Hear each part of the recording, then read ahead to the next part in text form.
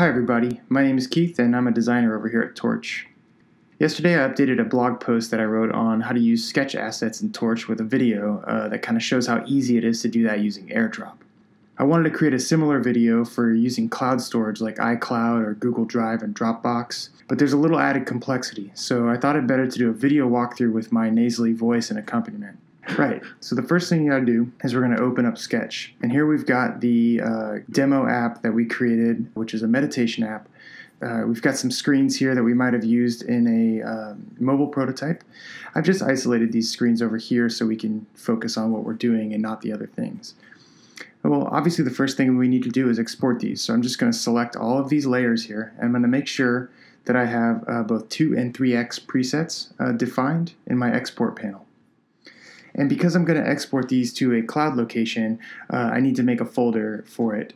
I use iCloud, so I tend to like to just go to my desktop and I make a folder here. I'm just going to call this sketch to torch. Now, if you are using something like Google Drive, OneDrive, or Dropbox, you're going to do the same thing there. You'll just make a folder, and once you get the assets into the folder, the process of getting them into Torch is completely the same. So, for all intents and purposes, what I'm doing here on my desktop with iCloud is going to work for any cloud provider you use. Right? So let's go back to Sketch, and I'm going to once again. Oops, I deselected those. I'll select them again. Export selected. I'm going to go to my desktop. I'm going to jump right into this folder and I'm going to export them. Now let's go back to Finder and make sure that they're all there. There they are. Great. Now that we're here, everything gets very easy. We're just going to jump over to Torch, pull our assets in, and we'll be ready to start using them. Let's switch over. Okay, I've jumped over to my iPad and I've already got the Torch app running. So now I want to get those sketch assets I exported to my desktop into Torch. To do that, I'm going to start by tapping the object drawer.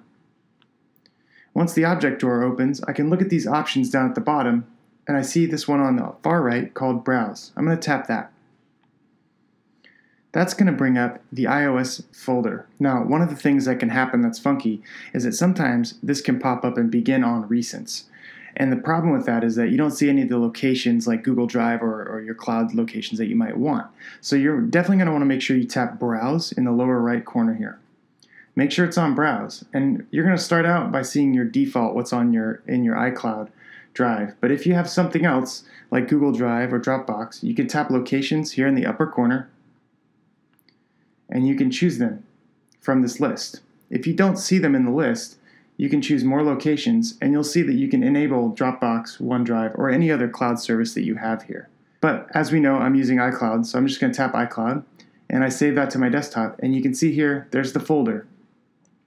The one limitation about using a cloud service as opposed to AirDrop, uh, which goes to your folder role, is that you can only pick one asset at a time, which is kind of cumbersome if you have a lot. But it also uh, has some other benefits like folder structure. Um, the preservation of opacity and transparent layers is much better than with AirDrop. So I, I prefer, I pretty much always use cloud.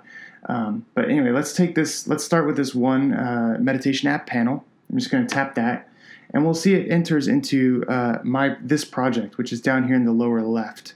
As it's uploading, you'll get a little status.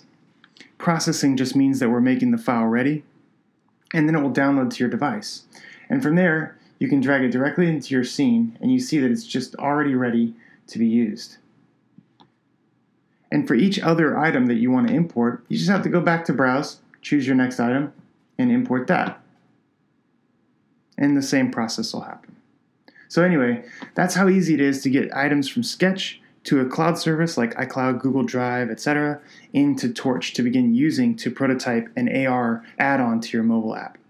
All right, that's all we have for today. I hope that was helpful. If it wasn't, let us know in the comments what you need. Otherwise, email us at support at torch3d.com. That's support at torch3d.com, and we can help you out there.